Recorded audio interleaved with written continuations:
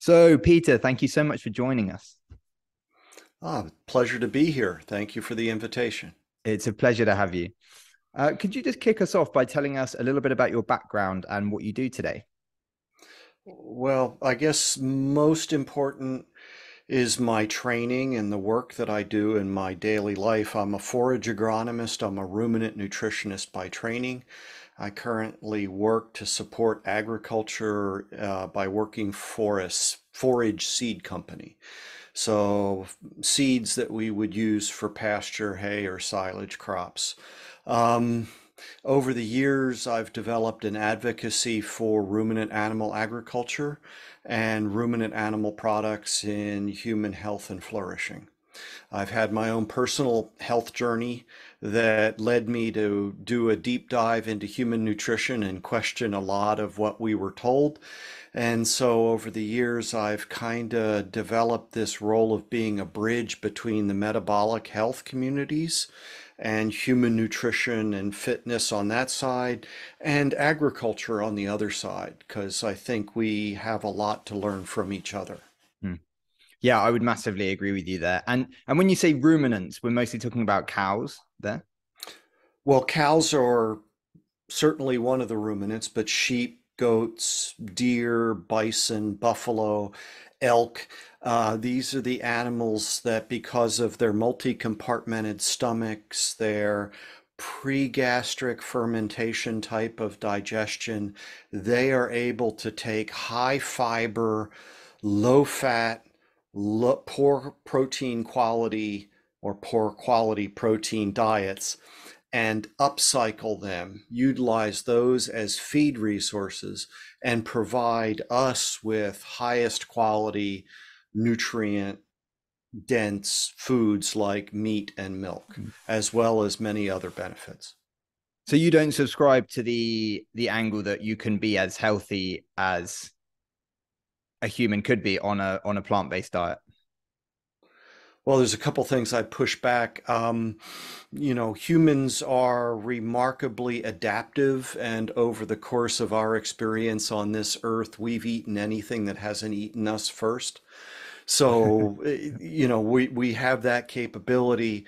I think it's it should not be controversial that um, animal source foods are the best source of many essential nutrients, and in some cases, the only source of those essential nutrients. So, some amount of animal source food, I believe, is essential for proper human development, function, and health.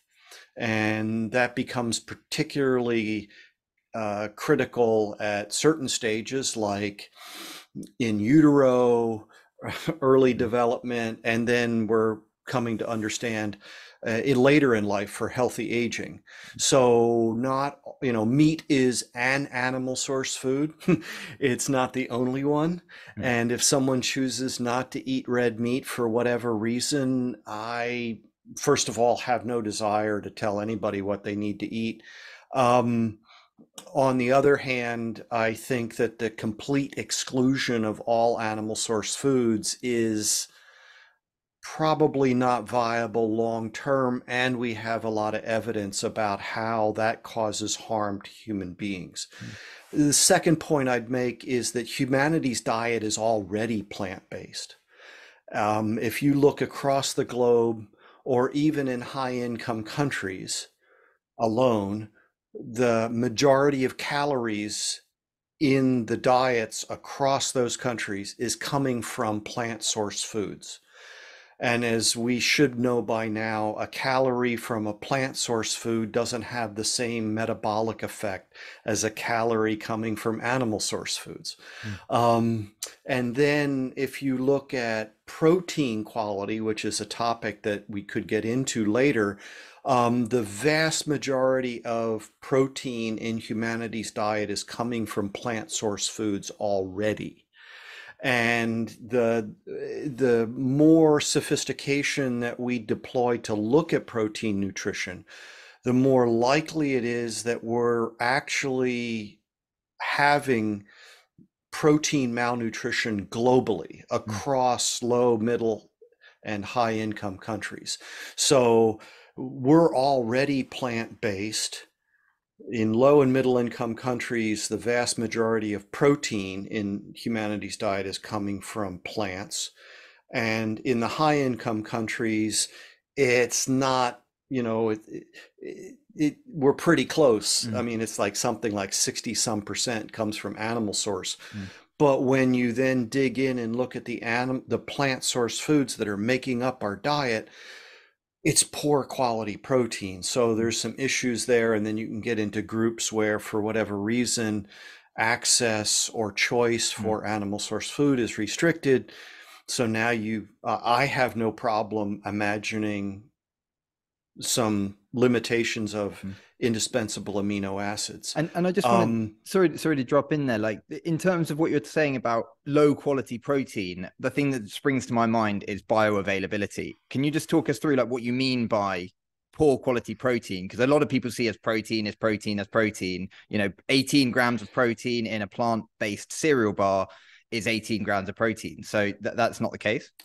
No, we don't. Uh, protein is an oversimplified term. There's lots of good reasons why we got there. But if if you look in any table of food values or on an app that's tracking what you're consuming or on a food label, when they list protein, that's a shortened version of crude protein.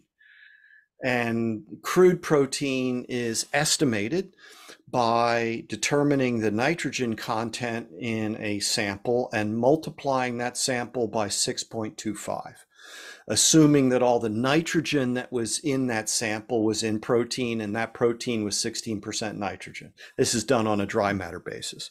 So that works and has worked since the 18 late 1800s. Um, relatively inexpensive, so we've got lots of data problem is human beings need amino acids.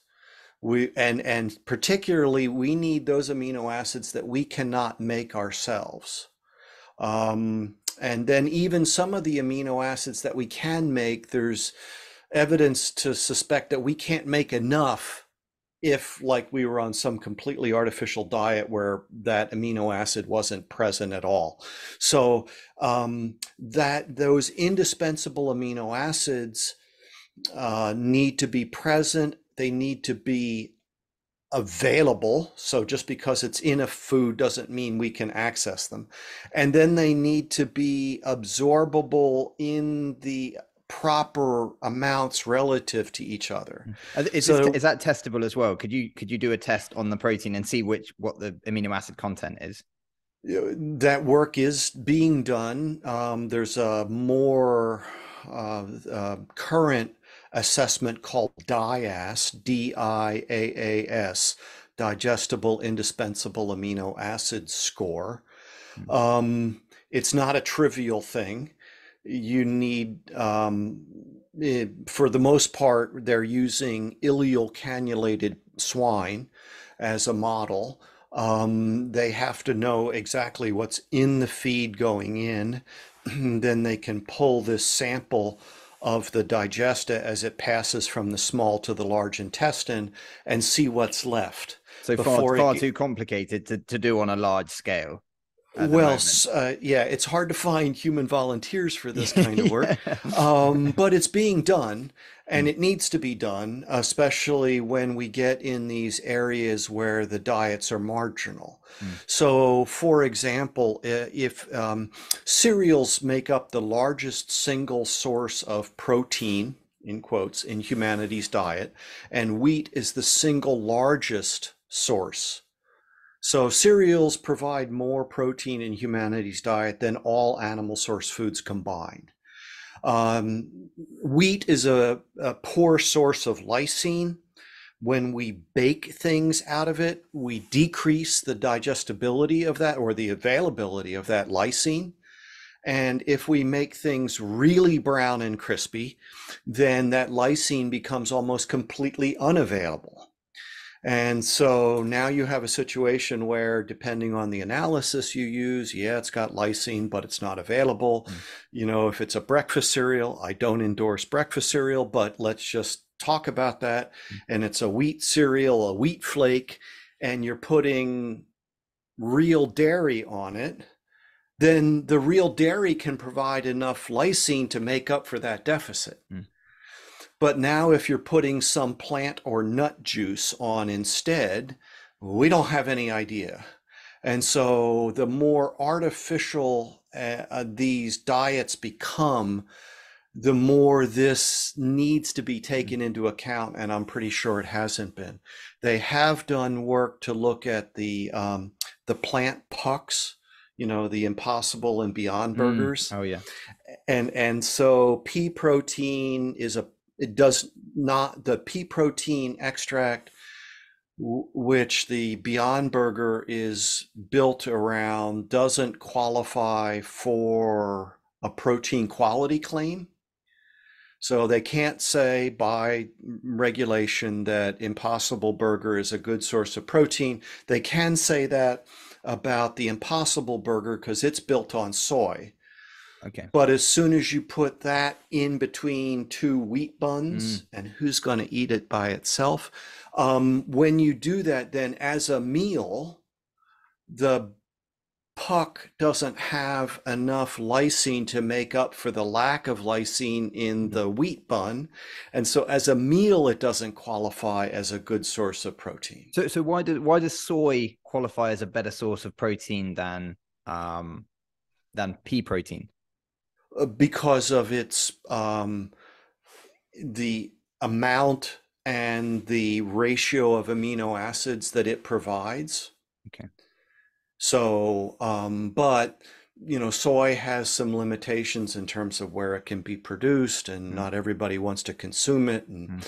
th- those sorts of things. But uh, just from a raw sort of content mm. basis, when we say good source, that that's what it's referring mm. to. I mean, the, the interesting thing is that we hear so much, certainly in the in the sort of legacy media, about not only is meat and particularly ruminants and, and cows in particular damaging for the environment, that eliminating that from our diet is also healthier for us. So how have we got to the point where we're in basically opposite world? Yeah. Well, I, I know that you spoke with Belinda Fettke recently, so there's one explanation that I'd refer to. there's a long history mm. of people who, for whatever reason, believed this and then set about proving that their belief was right. Uh, and this was in the face of um, a, a, friend of mine, um, uh, Adele Hite, sadly passed too soon. Um, put it this way she said at, at, at, at a point human nutrition shifted from ensuring adequate essential nutrition to nutritional epidemiology of chronic disease. And that wasn't a trivial transition right? And and as long as people were focusing on providing adequate essential nutrition mm. then animal source foods were a fundamental part of the diet and and all of the things that you would worry about in terms of you know affordability and accessibility and appropriate to whatever person's background um, were were in play, but there was no question that you know people needed you know your daily meds, meat, eggs, dairy, seafood, pick whatever is appropriate. Um, then you got into this whole mythology that we could adequately estimate what people consume when they're free living and we could quantify what it is that they're eating right so mm. you're going to try to remember what you eat on a daily basis and then i'm going to go to some table of values and i'm going to bring those in and then over years we're going to see what you you know what diseases you contract mm. and then we're going to try to make some meaningful statistical relationship well it, it's a completely fraught experience but it's the basis of modern dietary guidelines and advice. Mm. And everyone understands, anyone who's involved in that understands the limitations um, to the point where we now have, um, as, as you've sort of alluded to, we have the series of papers that come out in the Annals of Internal Medicine, where they basically say, you know, with weakest quality evidence, which is the only evidence available to us, um, there is no there is no basis for a reduction in consumption of red meat from present levels. Hmm. And and the only reason they don't say anything about increasing is nobody's ever thought about increasing intake. So nobody's ever done that work. So there is no, you know, evidence in in the literature at least that, you know, I I could point to right now. So we we have this narrative there was you know, the environmental movement played a part in this. Uh, again, beginning in the late 60s and early 70s, you, you had Paul Ehrlich's population bomb coming out in the late, you know, uh, 60s. You have Diet for a Small Planet coming out in the early 70s.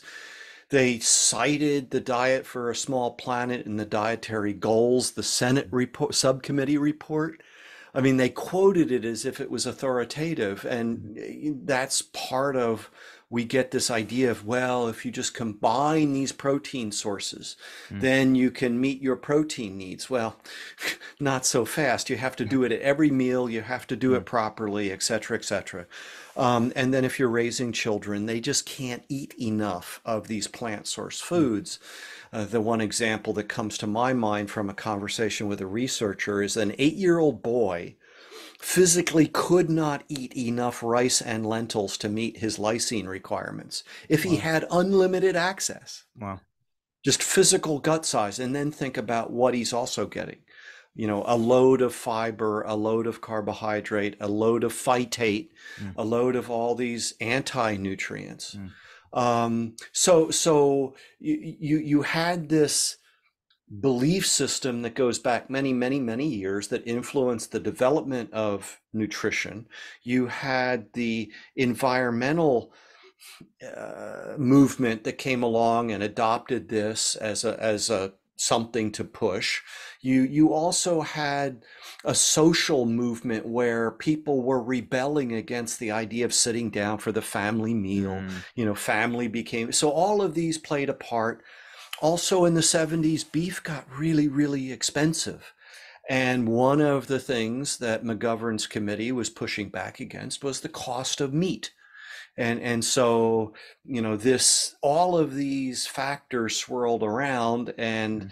you know years and and then you have commercial interests right if i can make a product that can take commodity mm. and process it and sell it in the market at a higher margin than i could the commodities hey presto now we've got a marketing campaign yeah. and um, then on top of that we've got uh, medical and pharmaceutical interests that are interested in you know their products in the marketplace so all of that combined hmm.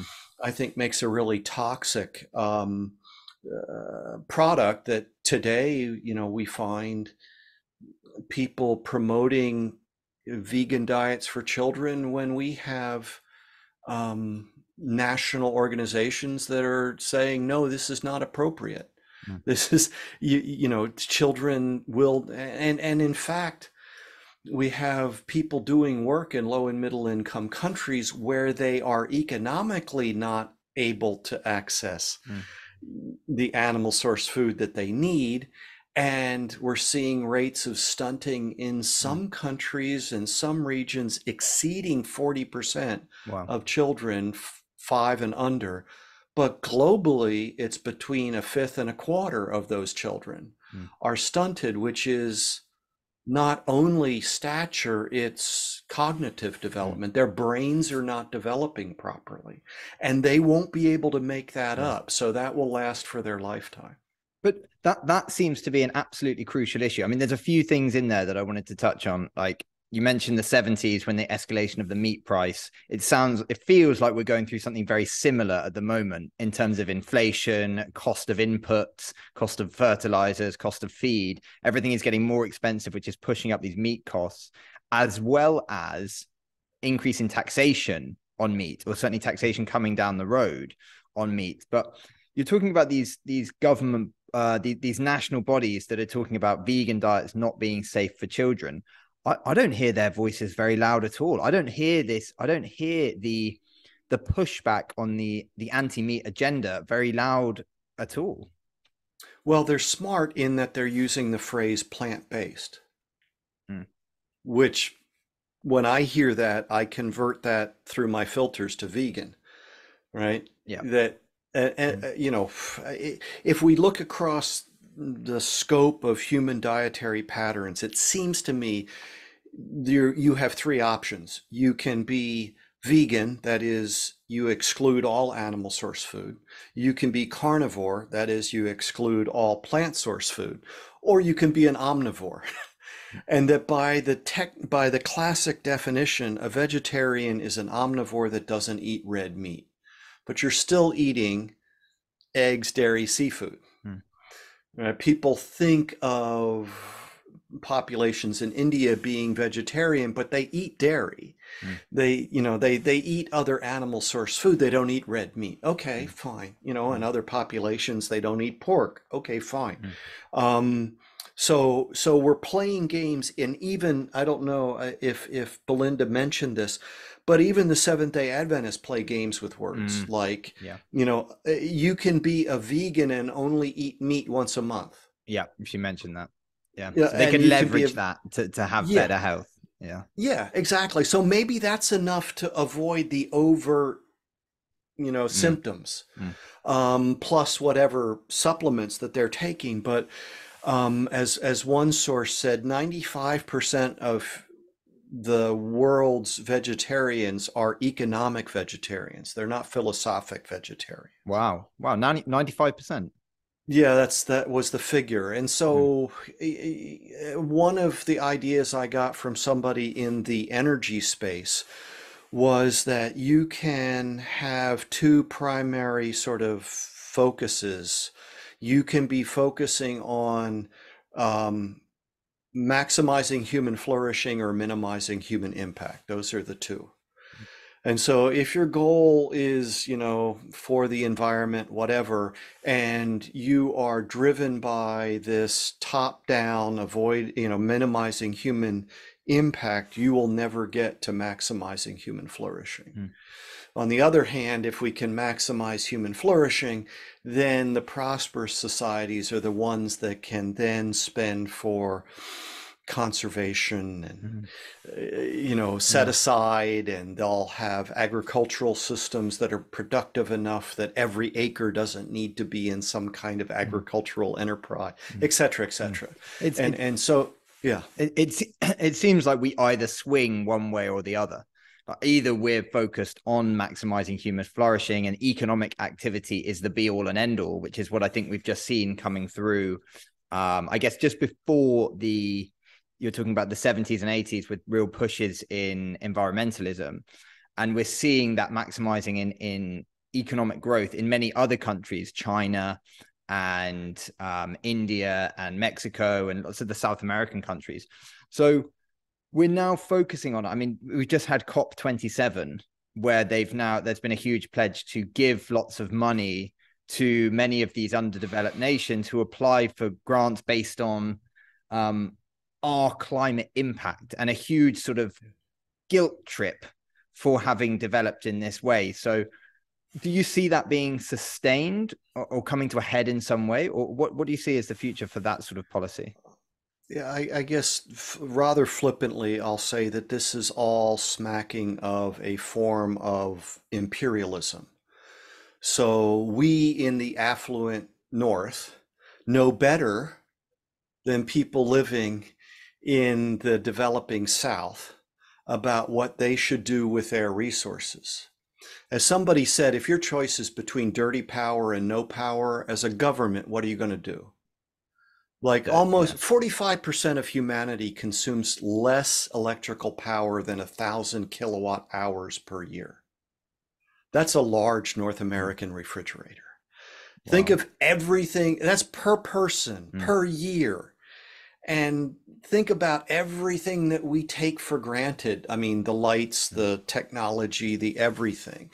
And and so we're going to tell con- you know governments what they can provide for their people based on what? I we are in the situation we are in now and for the next few years because of misguided environmental Hmm. focus. And and you know i that's just something else that i think people need to learn about. So when people start saying eh, you know we we have to do this for you know the the planet i just point to germany who's tearing down wind turbines to get at the lignite that's underneath it Oh, really? What what is lignite? lignite is the worst form of coal you can burn but it's what they've got Yeah. and they're not going to be you know so it it Hmm. we are in this situation because of deeply unserious people. And and so let's bring it back to the the human health and flourishing because if we can get that right if we can get our ideas about that right i'm uh, i'm optimistic. I'm not naive but i am optimistic. I think that you know, ultimately well nourished, properly developed human beings who can communicate one with another can solve all kinds of problems. Mm. The top down doesn't work. It's Yeah. got to be, you know, from the bottom up. And that mm. requires a lot of change. And I'm, as I say, I'm not naive about that. Mm. But, eh, you know, what, what, what is the environmental footprint of chronic disease? Well, that that's a big one. Yeah, yeah. So, so I am becoming familiar with, you know, e- efforts within the beef industry globally to work towards sustainable beef systems. Okay, and there's a lot there. Um, but anytime somebody who's serious talks about sustainability, they talk about a societal component and they talk about an economic component and then and as well as environmental component. An environmental component includes more than merely greenhouse gas emissions, right? Hmm. But too often this conversation devolves to only environmental and only greenhouse gas Hmm. emissions. Well, e- And- even even on there, just to, just to jump in, I mean, even the the stat around what certainly ruminant agriculture or, or animal agriculture is contributing to greenhouse gases is far in far more insignificant than what we're being told. Yeah, yeah, absolutely. I, I, I mean, it's not nothing, right? It's there. It's, it's, they, they've estimated it. But in the US, for example, all of agriculture is somewhere around 10% of anthropogenic greenhouse gas emissions. That's whole, Um, lo- whole of agriculture rather than just animal agriculture. Yes. Okay, and then if we boil it down to animal agriculture, do we know that the the It's less than half. It's about four. Okay, And if we look at beef, it's less than half of that. It's two. so if we if we cut that out of our diets, not only would be we be more nutrient deficient in many things, we'd also have a very small impact on the actual climate emissions, and we'd have a, a bigger impact on the amount of emissions that are caused from disease-related illness. Yes, and um, we'd have to increase the emissions coming from plant source food production. And it's not a one for one, right? Uh, because the animal source food is more valuable, so it would take more to replace it. Um, but um, we we also have then the reality that our entire food system is integrated. So we can't have sustainable food systems without livestock agriculture in general and ruminant animals in particular. So so there's that. We would be forced to take more marginal land out of production in order to produce the increased amounts of plant source foods if we look globally and and and there there was a paper where they tried to estimate what that impact on greenhouse gas emissions would be. And i think in the us it would be somewhere below two and a half percent reduction but it would come at the cost of they said creating i would say exacerbating essential nutrient deficiencies and imbalancing the food system Mm. globally it would be like less than a half a percent impact um, of eliminating animals agriculture in the US. And of course, we need to point out that the animals don't get to hang around, right? So they get eliminated. So after the world's largest barbecue, we're left with this sort of and meanwhile i can pull the paper that estimate that that said that uh, uh, the healthcare industry in the United States is a significant source of pollution, including 10% of anthropogenic greenhouse gas emissions. Now, those aren't apples to apples comparisons, mm. right? Different methodologies are used to create them. The point is, it's there, it's large. Mm. And it's going to get bigger because we know the burden of chronic disease is getting better. Mm-hmm. And we know that the people who are trying to solve that issue tend to bring their mindset of what a healthy diet is. Right. So mm-hmm. they're going to tell people that they need to exercise more and eat less and et cetera. And mm-hmm. we know that that hasn't worked. So, mm-hmm. Um, you know, globally, um, there's there's estimates of the the emissions intensity from the pharmaceutical industry alone. Mm. Um, people have taken that number and they've applied it to a dollar figure and said that if you know based on the the pharmaceutical spend for the average American type 2 diabetic sorry, the average American adult with type 2 mm. diabetes. They gotcha. aren't their disease, they have the disease. Mm. Um, that if they could eliminate their medication use, they'd reduce their carbon footprint 29% more than if they went from a high meat to a vegan diet. Wow. And we don't hear this at all, really. No, no, no, no, we don't hear that. And so, you know, there's a lot of hand waving in those estimates. I, I admit all that. Mm. Again, the point is, whatever even if you halved is, it. Yeah, yeah, yeah. The you know, it's like a car's worth of emissions mm. per year. It's mm. like, and, and so we we need to have that f- more fulsome conversation about this because again, we're only looking at greenhouse gas emissions.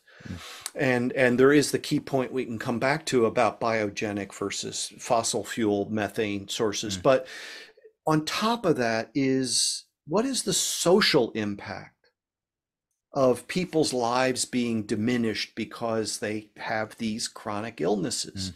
What what is the economic impact? We know it's huge. Then think about, you know, in low and middle income countries where something like 80% of people with these chronic diseases live. Mm. Right? This is not merely in the high income it's not confined to the high income countries mm. it's it's a global pandemic mm. and my concern is that a lot of people doing good work in this space are bringing that mindset of, well, you know, if people just ate less or exercised more, they mm. wouldn't get obese. And if they didn't get obese, then they wouldn't get diabetes and all these, mm. you know, like there's so many errors in that train of thought, but it's conventional wisdom. Well, well that, that's what I find frustrating as a, uh, a health professional certainly online, is that people really want to boil down this issue of either obesity or, or being overweight to just calories in, calories out. And that serves some of these big organizations and big companies because it, it it it obfuscates the truth around what's making us metabolically healthy and what's what's really making us metabolically unhealthy. And there are people just going crazy at each other online saying, you know, a calorie is a calorie and how dare you say otherwise? And yes, of course, the unit of measurement is the same.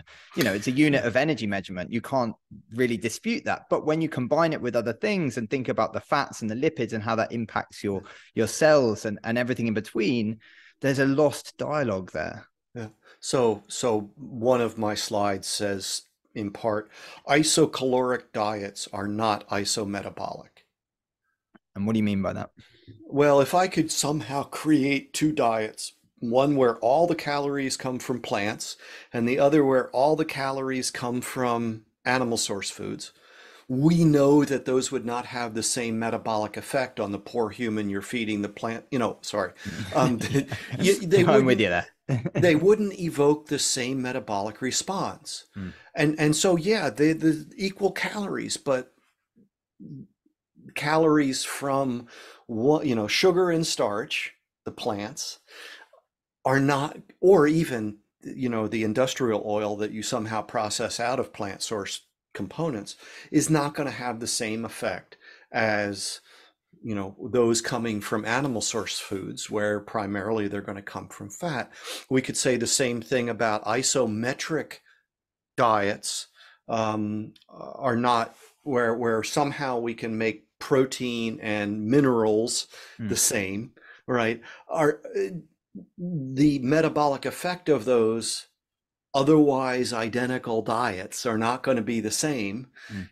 between a plant source and an animal source mm. diet um, for the reasons we've already talked about, uh, bioavailability, mm. let alone the need for some of you know things like minerals or vitamins, mm. based on what you know whether it's a plant source or an animal source or what mm. the nature of those calories are coming from highly processed plant source foods versus you know eh, we we need to get away from calling you know the processed animal products and processed plant products are not the same thing mm. right yeah. you can't tell me that prosciutto ham which is clearly processed is the same as pop tarts right mm. no sorry stop mm. go away yeah come back eh, when you've read a little bit more i uh, but yet the language that we use mm. kind of leads us there mm. Um, so no, we, we, we have to, um, we, we, we have to give people enough information for them, one, to escape this kind of burden of blame that they've been put into by the existing system, right? Mm-hmm. Like nobody wakes up one morning and goes, Oh my God, I'm obese. How did this happen? Mm. right it's something that we're aware of for a while and we try what we're told to do and it doesn't work so it must be our fault because everybody's telling us that and mm. so we we we we wear that coat for a while and that's and the, the lucky, tragedy yeah and the lucky ones of us at some point get introduced to information that says you know there's mm. it's not your fault you know it is your problem but it's not your fault so yeah. where you know here's some other information try this here's some better metrics for health hmm. so track these figure out what you do what you need to do within your hmm. circumstances hmm. your biology etc that hmm. that produces positive changes in those metrics hmm. right what makes you happy right if if it's not making you happy why are we doing it yeah. life is far too short mm. and, and, and especially if we're you know part of a community people would rather be around happy people than mm. unhappy people so let's I, find some way mm. i mean I, I agree with you there but unfortunately many people's happiness these days is derived from fast food and you know bonding over over poor health habits. And or many people yeah. would see that on the on the surface you know short term short term like moment on the lips happiness. Yeah yeah.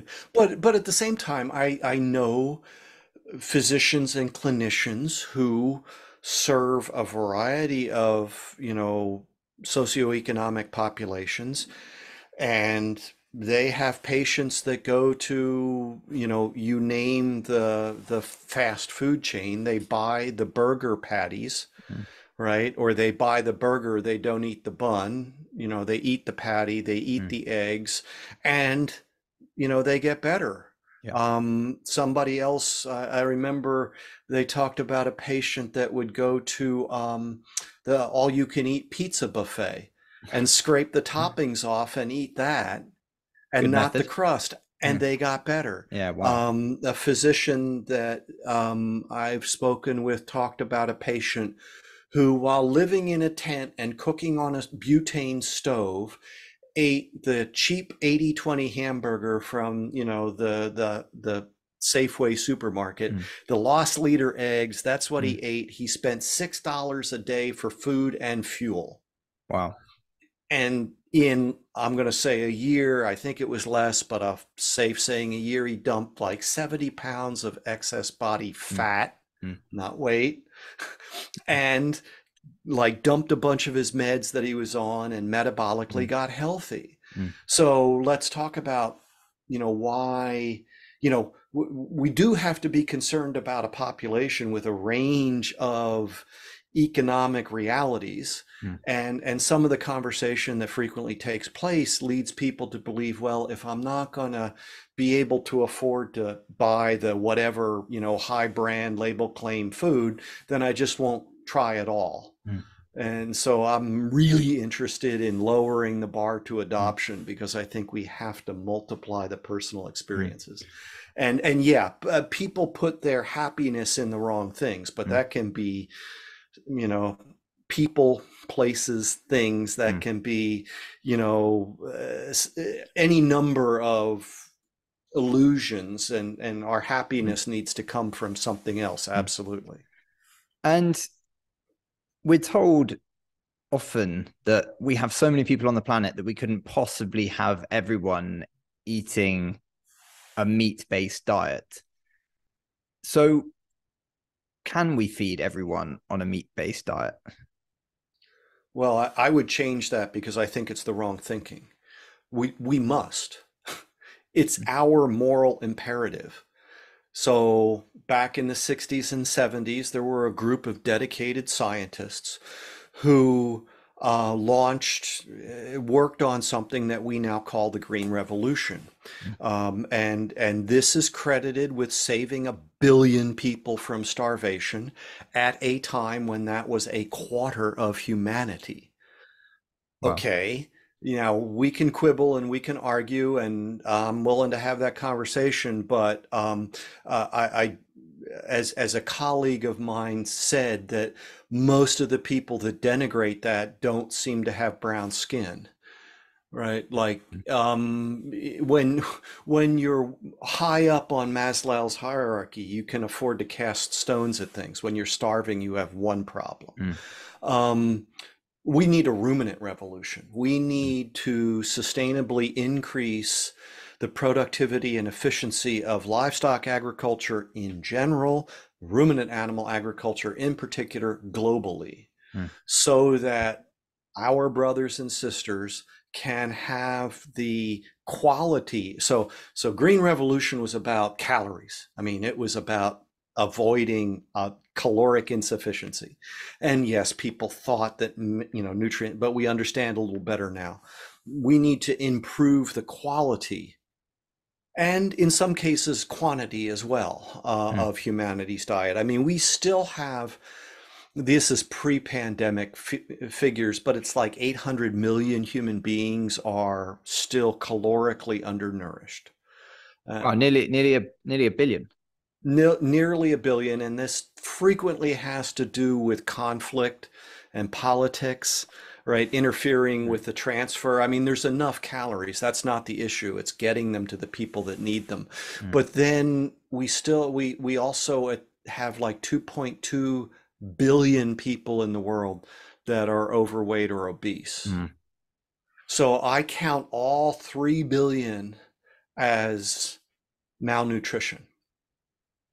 Sure. So what we just hit 8 billion. Mm. So you know yeah. this this is a moral imperative for us to do this and we can it's it's it it takes some people with vision and right now unfortunately we're pushing against the narrative that says we can't or even worse we mustn't mm. and mm. and um, that's got to do with a, a, number of things some of which i understand only marginally but mm. part of it is they just don't understand um, that ruminant animals don't compete with humans for food mm. right that, that that that's not and and currently in the world the majority of human edible crops are produced on s- small um, landholder farms in low and middle income countries where the livestock are still an integral component of those mm. farming systems to the point where over half of the world's fertilizer comes from manure Mm. So you get rid of the animals. Where does your fertilizer come from? Yeah. Well, you then, know, yeah. Over half of the world's farmers still depend on mm. draft animals. But but then so, but then would that come from things like um, artificial uh, fertilizer from the the the the fossil fuels industry?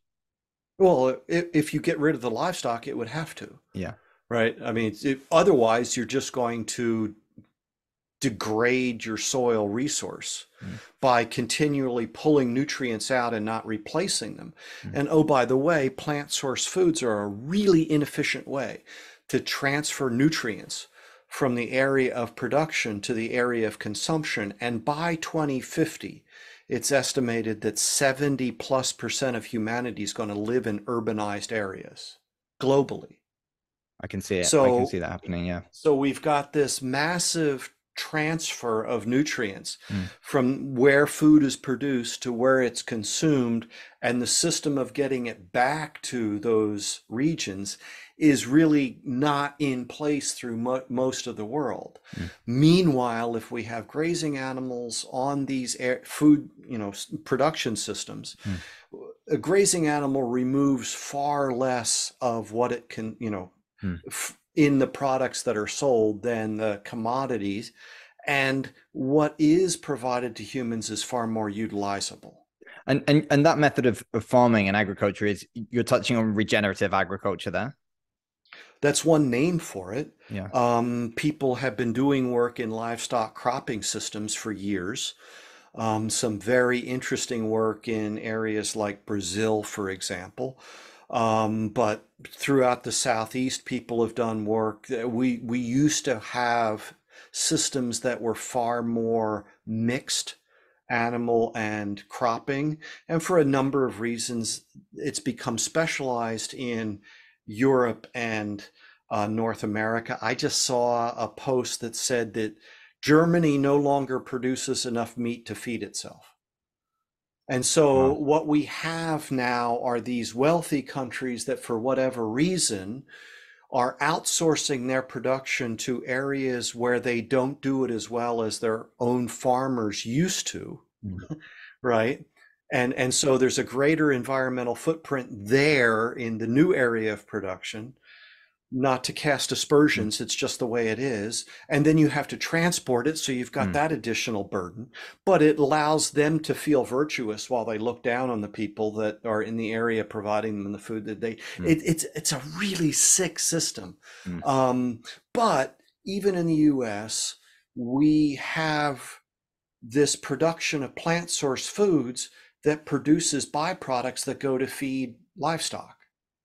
So even though the animals aren't on the farm, mm. they're part of the farm system. Yeah. So another of my lines is you can't get milk from almonds, but you can get milk from almond hulls because those hulls are fed to the dairy cattle in California. It's a major feed resource. Wow. So if you again take the animals out, what are you going to do with these hmm. waste products of your plant agriculture. Hmm.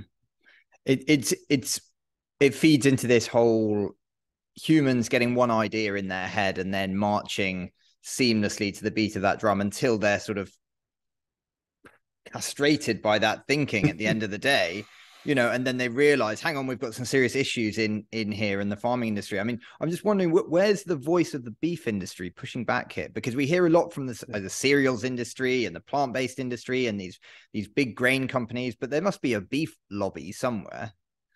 Well, so eh, the one of my twitches is when people talk about the beef industry. It's like, well, you know, we've got 750,000 farms and ranches in the United States that have cattle on their inventory, right? And and those production systems look very different if you're in, you know, New England compared to eastern Colorado, for example. Um, and and then uh, most of those are producing calves that go to somewhere for maybe they run on a stocker operation where they run on high quality pasture, put on more weight, then they go to the feedlot, or maybe they finish on grass and go into the market. Um, but then you have the people that feed calves to slaughter weight. That's a different industry. Then you have people that process and and that that pyramid just gets small, narrower, mm. and pointier and pointier mm. as you go from calf production up to you know meat in the case. Um, eh, yes, the, I, I, I mentioned the um, uh, sustainable beef effort. So mm-hmm. there are a dozen or more national regional roundtables and there's a global roundtable where they're trying to put information out um, and they're also trying to look at ways to improve and do the research you could go to the NCBA, the National Cattlemen's Beef Association, they have a website. There's a lot of environmental information there. You can go to uh, whylivestockmatter.org, mm-hmm. which is out of ILRI, which is the Institute for Livestock, uh, the, sorry, the International Livestock Research Institute. And they're based out of Kenya and they're doing a lot of good work in in Africa and Asia. So there's lots of resources, but no, I absolutely take mm. your point that we're not doing a good job. We, you know, as if uh, I'm I'm a volunteer in hmm. this, mm. right? My my background is my background. Um, I'm blessed by my circumstances, so I'm able to do this, but I'm not in the employ of anyone to do this advocacy mm-hmm. work. Um, not that there's anything wrong with people who are, but we live in an age where people will use that to marginalize. Mm. Sure. As if the stuff that they're hearing from the other side isn't coming from people who are paid to do it. Yeah. It's a very mm. weird kind of situation. Mm. Um, I've sat in the audience and listened to people, you know, give presentations on protein quality and apparently you know both of these the, the, person giving the presentation and the person sitting next to me were like classmates decades ago and they're like well i remember professor so and so telling us this 40 years ago mm. why isn't this you know why is this news now mm. so part of part of it is we certainly in the high income countries, we have the luxury of being really divorced from our food production. Mm. Um, and that should allow us to engage in profitable enterprise when we're not like focused on meeting our absolute needs. Um, but that that separation has led to maybe a feeling of disconnection um, certainly made us of, susceptible to people with other agendas and messages coming in and getting us concerned.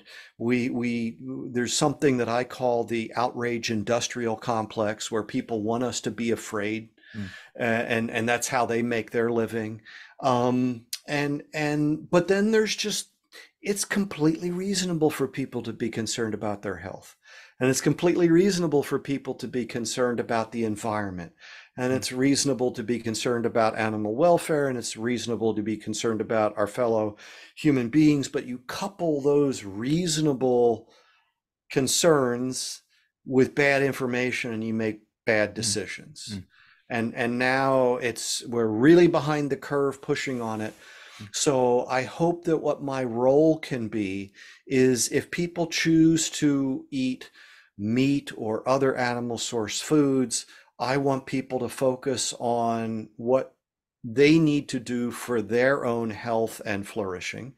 Understand that there's a lot more to the story than we've been told, but you can like relax about these apocalyptic um, stories that we've been mm. told about and and and i want people to own the idea that if you improve your health you are improving the world mm. And maybe that's the most practical and impactful thing that we can all do. Hmm.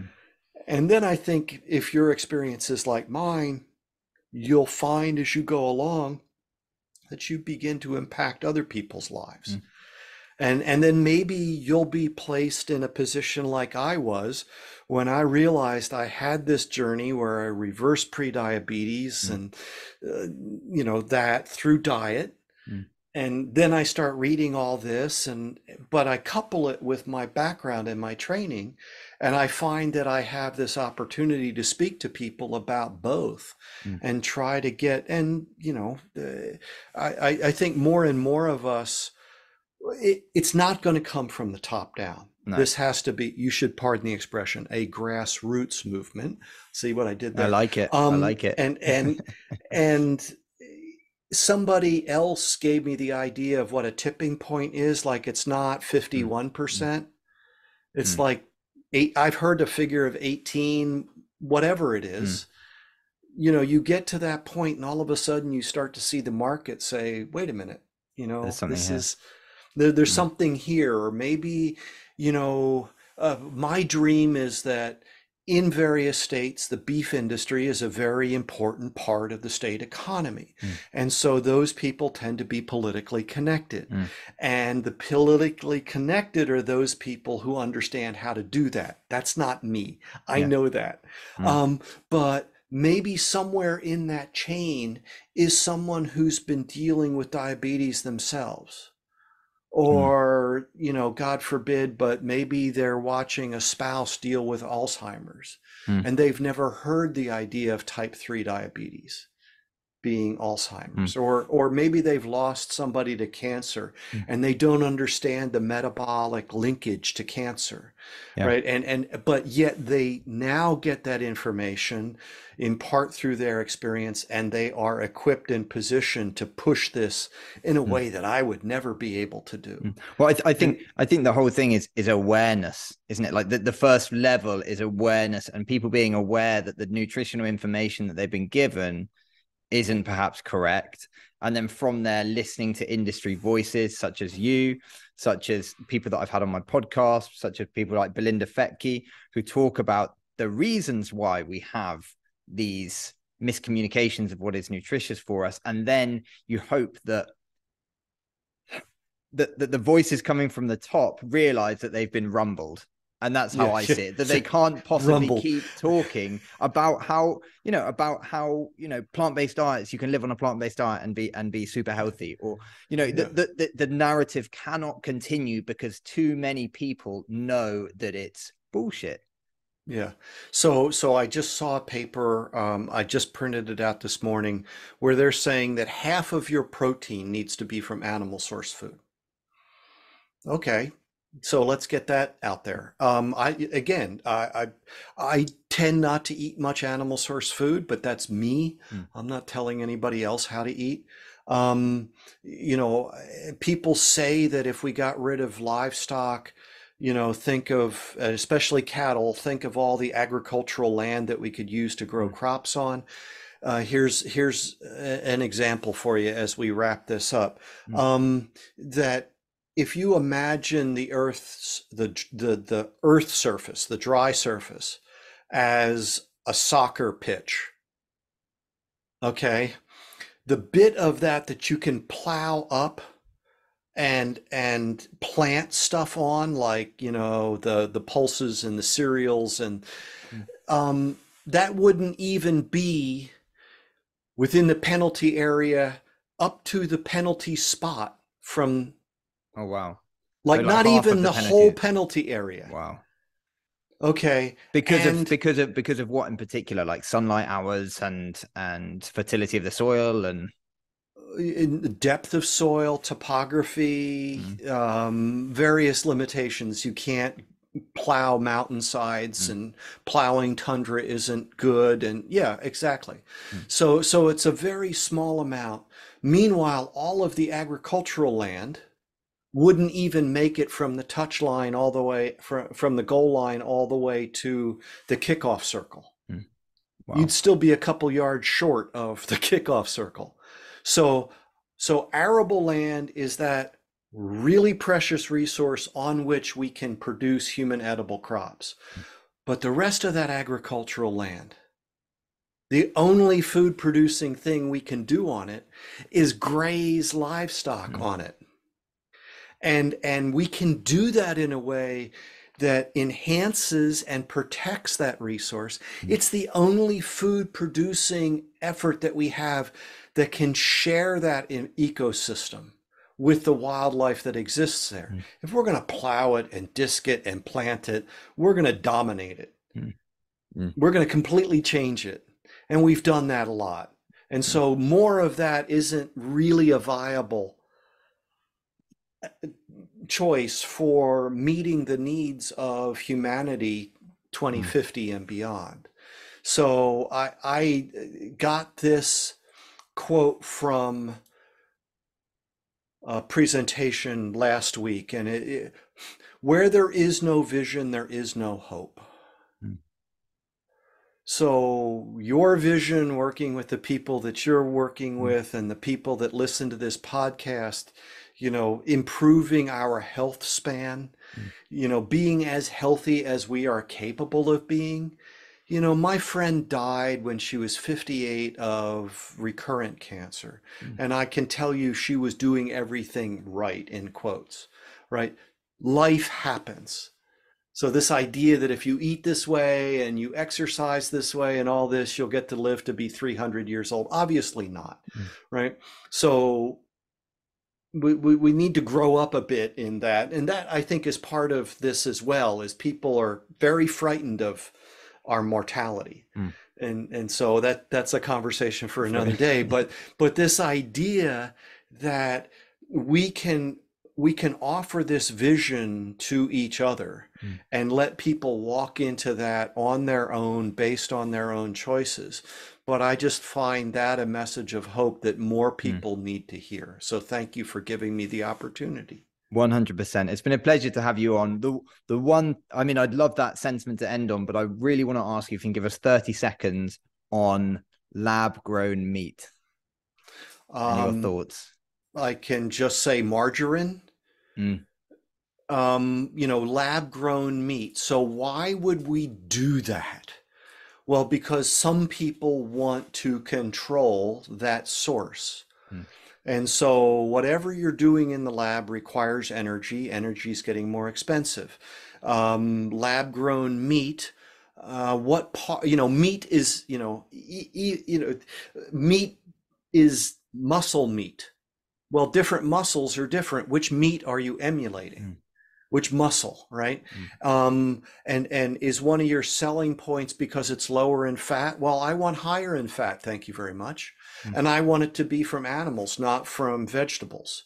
And it's not vegetables anyway; it's industrial seed oil. There's no vegetable involved in that. They named it vegetable oil because vegetables are healthy, mm. right? I mean, no, sorry, stop. Um, and and you know, frankly, we can have beef is produced in every state in the nation. So you want local food? Mm. Or do you want centralized food? Mm. So that that that's kind of my twitch on uh, the lab grown meat. I love it. I love it. I was I was about to open a huge can of worms there.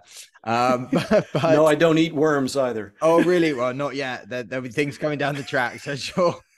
But Peter, if if people want to hear more about your work and more about you, where can they find you?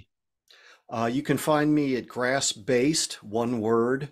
Um, that's on Twitter and Instagram. You can find me on YouTube by name, Peter Ballerstedt. Lots of my talks are there. You can find me uh, on um, Grass Based Health on Facebook, or, or you can write me at peter.ballerstedt at gmail.com. Fantastic. Thank you so much, Peter, for taking the time. And I hope you've sparked some interest in some of our listeners today. And um, yeah, I'm looking forward to speaking again soon. Look forward to it as well. Thank you.